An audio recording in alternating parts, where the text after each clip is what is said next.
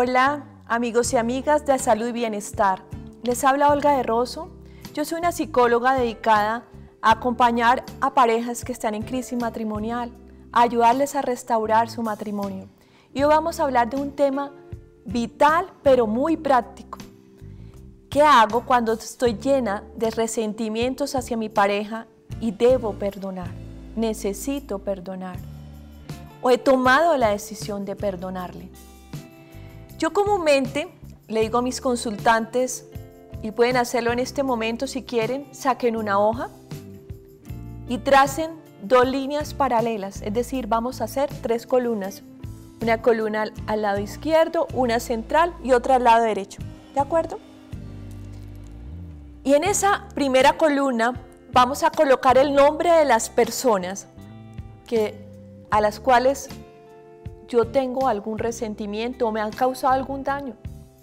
Llena esa columna. Probablemente es una lista larga y probablemente puede que tu cónyuge esté en primer lugar. En la siguiente columna vas a colocar todo lo que esa persona te ha hecho. Y en la tercera columna, es decir, al lado derecho, vas a colocar todo lo que tú has hecho o cómo has reaccionado a partir de lo que esa persona te hizo. ¿Estás lista? Y bueno, ¿y qué vamos a hacer con esa lista? Por una parte, tiene la intención de que nos demos cuenta uno a uno de las personas que debemos perdonar a las que estamos llamadas a perdonar, exactamente por lo que me hicieron. Porque de alguna manera yo puedo decir, yo estoy súper resentida con una amiga de hace muchísimos años y hasta ni me acuerdo quién lo hizo, pero estoy resentida. Y he escuchado a muchos hermanos que se dejan de hablar por muchos años y dicen, realmente yo estoy resentida, pero ya ni me acuerdo qué fue lo que me hizo, pero sí me hizo muchas cosas porque la verdad llevo 20 años sin hablar te invito a que te des cuenta que puedes uno a uno perdonar y saber exactamente lo que te hizo. Por tanto, saber que debes perdonar. Implica también que revisemos nuestra reacción, cómo hemos actuado, y esa es la, la tercera columna. Y es importante revisar esa columna, porque el cómo yo reacciono me va a dar la oportunidad de darme cuenta que yo también necesito recibir el perdón y perdonarme. Te voy a poner un ejemplo sencillo. Mi esposo me ha traicionado y además se fue de casa. ¿Y mi reacción cuál puede ser? Vengarme. Puedo decir, yo voy a hacérsela. Me la hizo, yo se la hago. Para que sepa lo que se siente ser traicionado. Eso se llama venganza. Y yo puedo reaccionar de esa forma o también puedo reaccionar de otra. Me hago daño, me resiento, me deprimo, vivo adolorida, con la herida expuesta todo el tiempo, recordando todo el tiempo lo que me ha hecho. O puedo tomar otra reacción, decir, listo, yo voy a mantener nuestro matrimonio. Y entonces voy a cambiar yo. Y esa es otra reacción. Es más positiva. Cuando yo miro la columna de cómo yo reacciono, puedo darme cuenta que si yo me equivoco, el otro también se puede equivocar. Que de alguna manera existió una víctima y un victimario, pero que también yo puedo convertirme en victimario al vengarme, al hacerme daño. También es importante darme cuenta que yo puedo ir a Dios y decirle, Señor, ayúdame a perdonar a esta lista de personas. Tengo aquí mi lista de personas. Y voy delante de Dios y le digo, mira, Señor, yo quisiera perdonar a esta persona, pero me cuesta mucho. Ayúdame a hacerlo. Y Él te ayuda porque Él sabe y ese es su mensaje central, el perdón. Pero también hay ocasiones que sucede que ya esa persona que me hizo daño ya no está, ya murió, se ha ido. ¿Qué puedo hacer en ese caso? Yo les recomiendo escriban una carta y cuenten a la persona todo lo que causó lo que ella hizo. Escribe esa historia. Y también dile, decidí perdonarte. Y ante Dios, ante el Santísimo, va y expone la carta. No tienes que enviarla a ningún lugar. Es una manera de sacar afuera, de vaciar lo que había en tu interior. Y le dice, Señor, ayúdame a perdonarla de corazón y en profundidad a esta persona que ya se ha ido. Y entregas esa carta.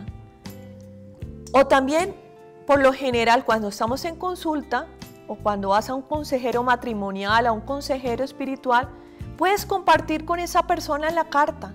Y es el punto de partida para que tú empieces a vivir una vida en paz. En todos los conflictos, existe un grado de responsabilidad de uno y otro de los cónyuges. Yo no puedo evitar mi responsabilidad. Puede que yo intente evitarlo y puedo culpar al otro de lo que le sucede, del dolor que está sintiendo. Pero debo darme cuenta y ante Dios decir y reconocer el grado de responsabilidad que tengo para poder darle espacio al perdón, darle espacio a la reconciliación. También debo admitir el dolor.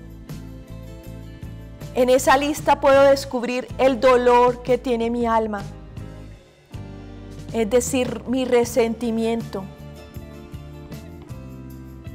y transformarlo. ¿Y cómo puedo transformar el dolor? Una mujer traicionada por su esposo, que se ha ido de casa, que la ha abandonado, ¿cómo puede transformar ello? O una persona que ha sido herida, abusada, que ha sido maltratada, ¿cómo puedo transformar ese dolor? Es una muy buena pregunta y es una pregunta muy común en consulta.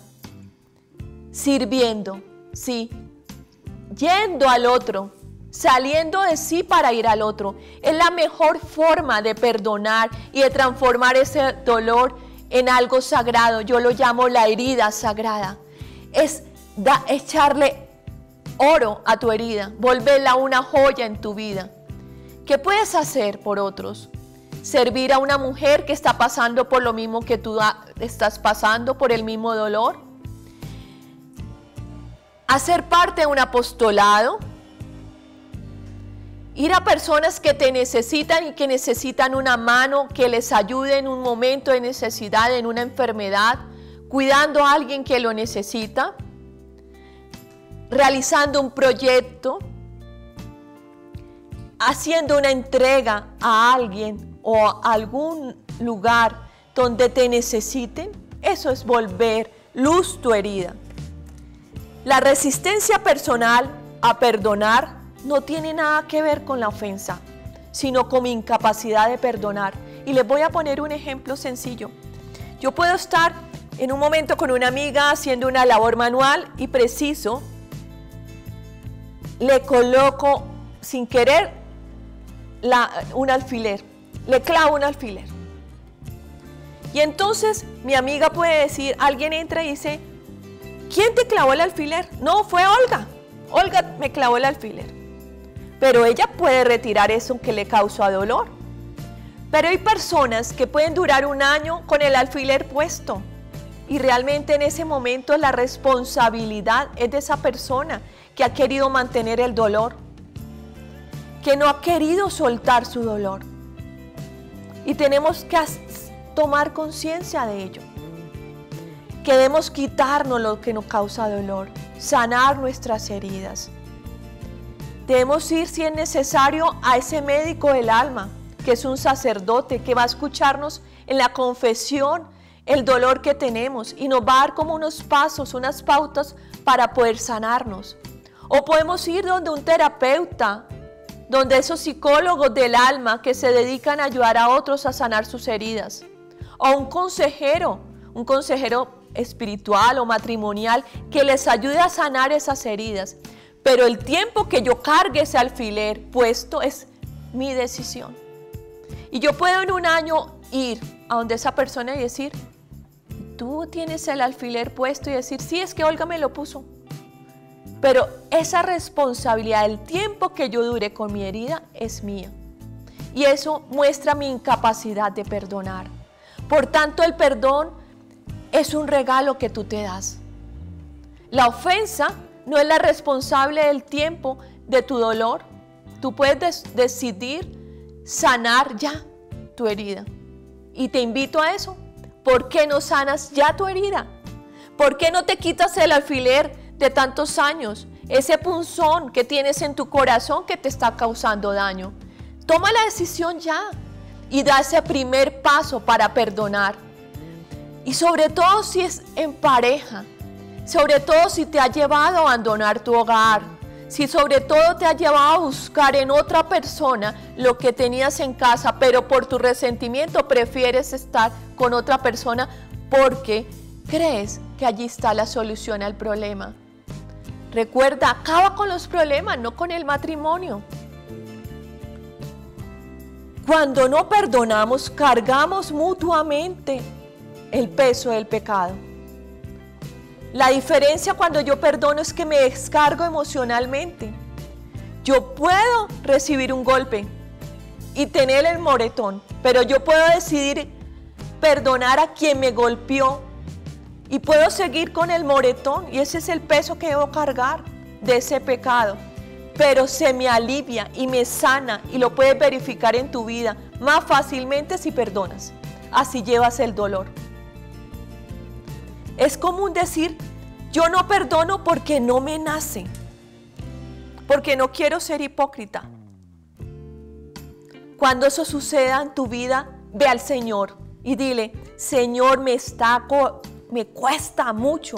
Me cuesta perdonar al otro, me cuesta perdonar a mi esposo que me traicionó, me cuesta perdonar a mi esposo que me abandonó, me cuesta perdonar a mi esposo que no me comprende, que me pelea por todo, que vive como un soltero casado. Dile al Señor. Sé obediente a su mandato. Él nos invita, nos manda a perdonar. Haz lo que nos, lo que nos toca. Comprométete con Dios. Que Él hace el resto. Él hace posible lo imposible. Por eso podemos decir, en Dios podemos perdonar lo imposible. Toma el riesgo. Ve a Dios y dile, por muy profunda que sea la herida, Dios te perdona y perdona, porque perdonar es divino, errar es humano. Y esa frase me encanta, porque tenemos que tener los pies en el piso, pero el corazón en Dios. Y es a través de Dios que podemos perdonar. Y te preguntarás, ¿cómo interviene Dios en ese perdón? Él toma tu dificultad, toma tu incapacidad y la transforma, porque solo Dios la puede transformar, porque el amor verdadero viene de Él y el perdón verdadero viene de Dios. Abre tu corazón. Si hay algo que impide el perdón es el orgullo y la soberbia. Y muchas veces somos soberbios y orgullosos y endurecemos el corazón incluso con Dios y no acudimos a Él. Entregar nuestra debilidad a Dios Hace posible que Él se gloríe en tu debilidad y te fortalezca y te dé los dones que tú necesitas para vivir una vida plena y feliz y para vivir en un hogar restaurado y, ser orgullosa de que Dios obró en tu hogar y que Él marcó tu historia un antes y un después de Cristo. Y te invito a ello. Perdona. Perdona a tu esposo, perdona a tu esposa, es tan humano como tú. Son dos seres imperfectos construyendo una relación humana. Por eso el matrimonio no es perfecto y Dios no nos, no nos pide perfección. Dios nos pide es amor y Dios nos invita y nos manda a perdonar. Te perdono, me perdono, perdonémonos. Recuerda, Dios quiere sanar tu matrimonio. Acaba con los problemas, no con el matrimonio. Y nos vemos hasta la próxima. Un abrazo.